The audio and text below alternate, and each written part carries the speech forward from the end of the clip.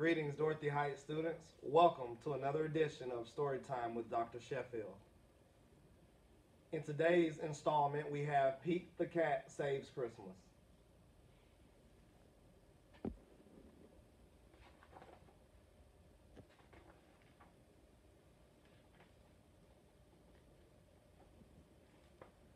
Twas the day before Christmas, and Santa was ill.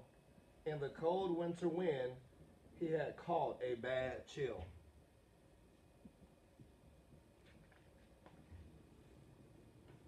Will Christmas be canceled? Will it come to that? Never, cried Santa. Let's call Pete the cat. Santa asked Pete to deliver the toys to all the good girls and to all the good boys. I'll do it, said Pete. And although I am small, at Christmas we give, so I'll give it my all. Give it your all. Give it your all. At Christmas we give, so we give your all. Pete jumped in his minibus and started to roll. Road trip, cried Pete. First stop, the North Pole. The reindeer were waiting to give Pete a tow. So he packed up the presents and told them to go.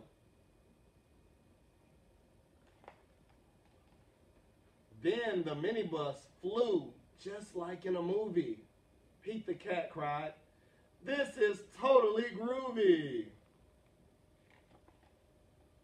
I can do it, said Pete. And although I am small, at Christmas we give so I'll give it my all. Give it your all. Give it your all. At Christmas we give, so give it your all.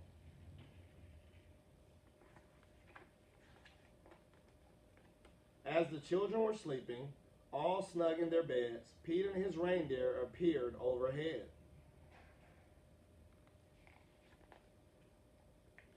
Straight down the chimney, Pete flew in a dash then back in his minibus quick as a flash. Each time he delivered a holiday gift, he crossed off a name written on Santa's list. Santa's list was so big and Pete felt so small, but at Christmas we give, so he gave it his all. Give it your all, give it your all. At Christmas we give, so give it your all.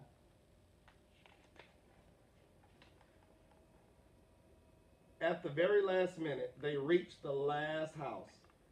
Pete dashed in and out just as quiet as a mouse. Then, right at the break of the new Christmas day, Pete and his reindeer were flying away.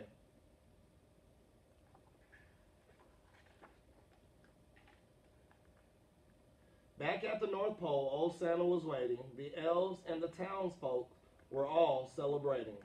Thank you, Pete. Small is cool.